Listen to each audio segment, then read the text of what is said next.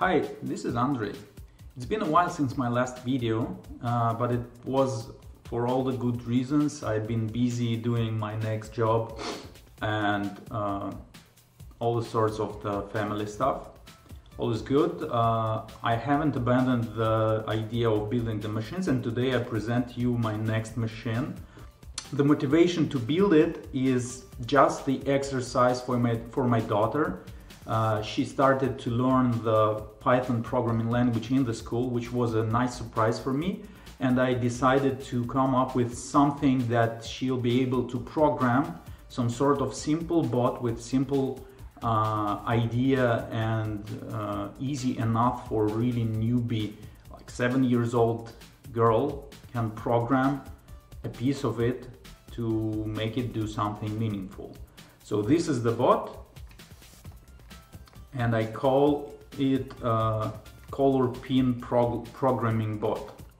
The composition of the machine is really simple. There is a wheelbase which is able to move forward and backwards and rotate, turn in place. And there is the tape with the color pins on it. These pins are read by these uh, machine eye, the color and distance sensors of Lego Boost. Uh, the tape gets uh, fed by the motor. The motor is here near the operator.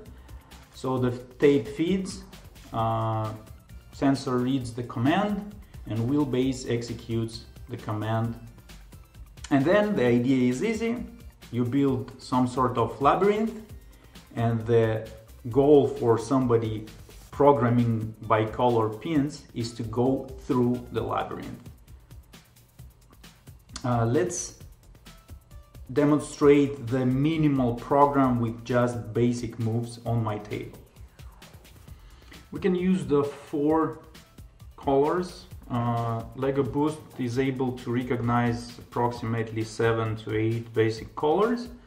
These four are known just from practice uh, to be the most easily recognizable. So the blue pin will be forward.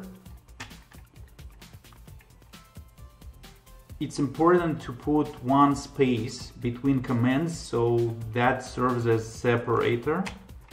So the machine knows when one command ends and another starts. And yellow and white are left and right rotation commands. So we put that on tape. This is how we write the program. We feed the tape to the initial position. Let's start the machine.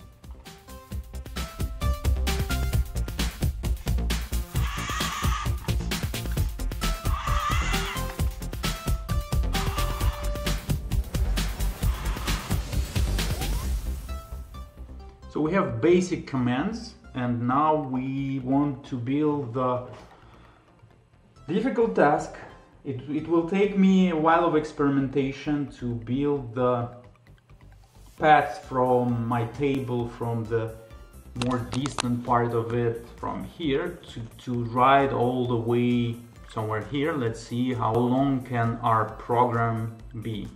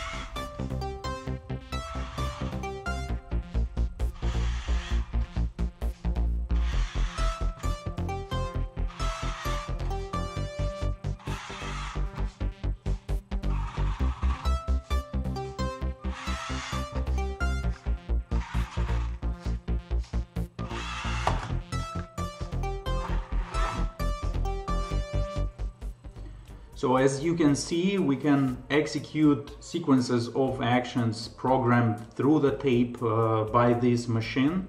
And I will quickly demonstrate you the parts, uh, the coarse parts that, is, that compose this machine. And I will speak shortly about the software part.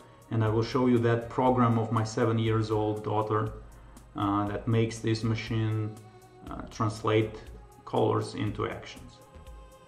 The composition of the machine is quite simple. First thing we have is the power source. As always, we use USB power uh, and it's easy to attach and detach it without disassembling all the machine to reach the battery block. Then we have the top part. There are sensor and motor and we can easily disconnect that. So this is the tape tape feeding part with the motor. That was one of the most difficult things to build the tape with the right uh, length.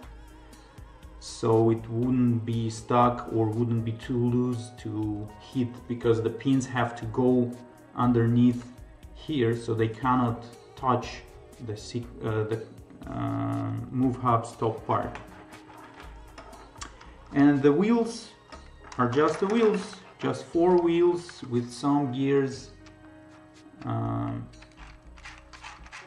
to move together. Uh, the software part of it is very simple. I had to divide the things needed into two parts. One is the base class, it's called Automata, which hides all of the complexity of Move Hub and subscribing to sensors, sending commands to the uh, to, to the motors into really simple interface to feed tape, get the color and do some left, right, forward and backward turns.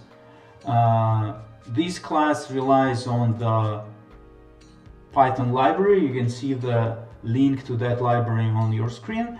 And the program written by Sofia, my daughter, seven years girl, is this. So we started from the flat program and then we learned something about procedures. So we extracted a couple of procedures. One procedure is responsible for doing the action by color. Uh, another procedure is responsible for reading the color and feeding the tape. And the whole program is just to instantiate the object, count the commands, read the colors and execute the actions and print the number of commands at the end. The commands are read until non-command, until the empty command is faced. Regarding this machine, I started disassembling it. I'm not planning to put it all together again, just because I already have next idea for the, the machine, which I will do my best to do very soon. That will be another exercise for my daughter to learn some new concepts of programming or just practice some basic programming and just a lot of fun for, for me from building the machines. I already started assembling some first pieces of it. See you soon!